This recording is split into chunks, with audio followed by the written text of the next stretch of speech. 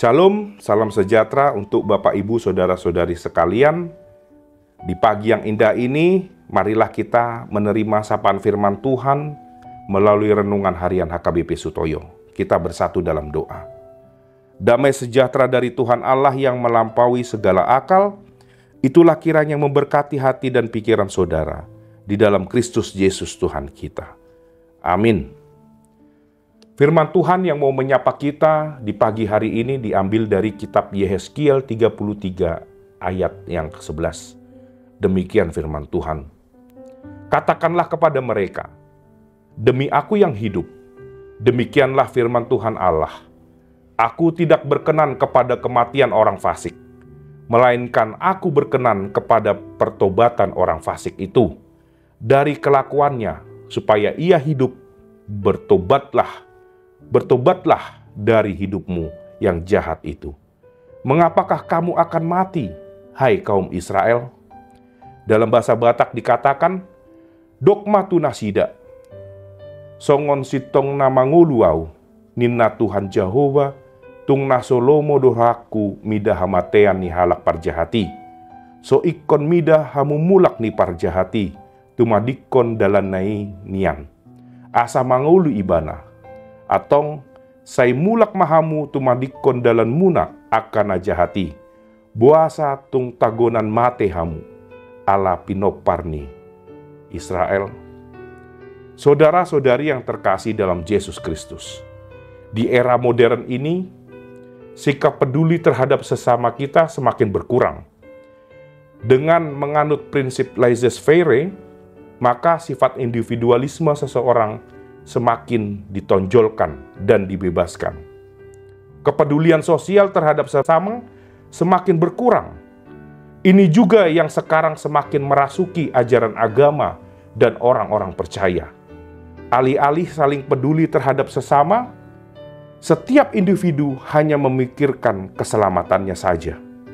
Saudara-saudari yang terkasih, setiap orang percaya wajib peduli terhadap sesamanya yang tersesat Inilah juga yang diingatkan firman Tuhan kita pada hari ini. Sikap kepedulian terhadap sesama digambarkan dengan istilah penjaga yang tugasnya bertanggung jawab mengawasi diri dan orang lain agar hidup sesuai dengan perintah Tuhan. Dalam bahasa Ibrani, istilah penjaga disebut sebagai mismar yang dapat diartikan sebagai menjaga, memperhatikan dan mengawal. Istilah ini sering dikenakan oleh para nabi yang diangkat oleh Allah, karena para nabi bertugas untuk mengawasi kehidupan umat Israel agar tidak tersesat dan melakukan sesuai kehendak Tuhan. Inilah juga kerinduan Tuhan agar seluruh umatnya mau bertobat dan tidak melakukan kejahatan kembali. Saudara-saudari yang terkasih, lalu siapakah penjaga di zaman sekarang ini. Karena tidak ada lagi nabi di zaman sekarang ini. Sebagai penggantinya, maka setiap orang percaya yang telah menerima kasih anugerah dari Yesus Kristus, inilah yang menjadi penjaga bagi sesama umat manusia. Seperti dikatakan Paulus dalam Roma 15 ayat 14. Saudara-saudaraku, aku sendiri memang yakin tentang kamu, bahwa kamu juga telah penuh dengan kebaikan dan dengan segala pengetahuan dan sanggup untuk saling menasehati.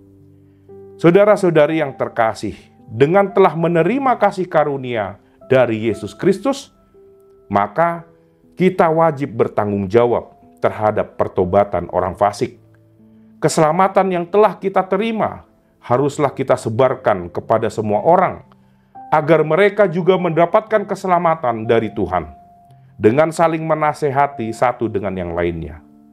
Maka dari itu, pesan firman Tuhan kita pada hari ini agar sebagai orang percaya kita harus saling peduli terhadap satu dengan yang lain.